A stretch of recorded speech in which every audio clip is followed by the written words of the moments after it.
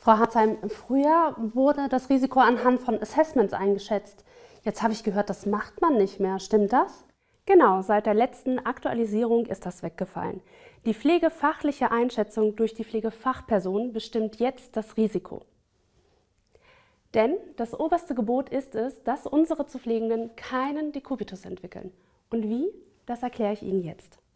Hallo, ich bin Florence Harzheim, ich bin Altenpflegerin und Ausbildungskoordinatorin. Im Schnitt betreue ich über 120 Auszubildende. Es beginnt mit der Frage, wie entsteht ein Dekubitus? Und ganz klar, Zeit, Druck und Disposition. Druck, denn durch die Liegefläche bzw. können sogar Falten im Bett zu Druck führen aber erst, wenn der Druck über einen langen Zeitraum anhält, besteht die Gefahr eines Dekubitus. Bei der Disposition sprechen wir von Risikofaktoren wie zum Beispiel Fieber, Inkontinenz, Adipositas, Diabetes oder Mangeldurchblutung begünstigen einen Dekubitus.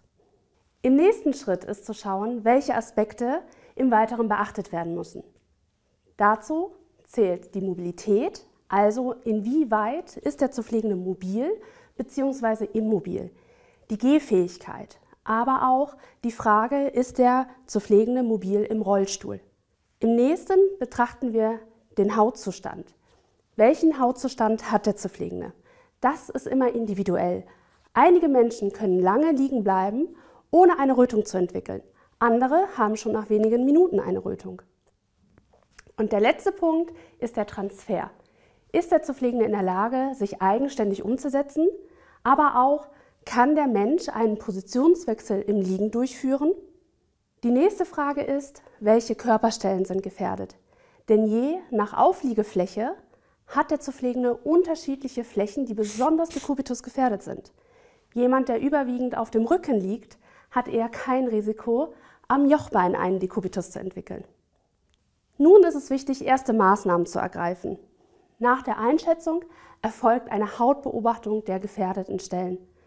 Bei einer Rötung wird der Fingerdrucktest angewandt und dieser kann jeder an der Pflege beteiligten Person bereits durchführen.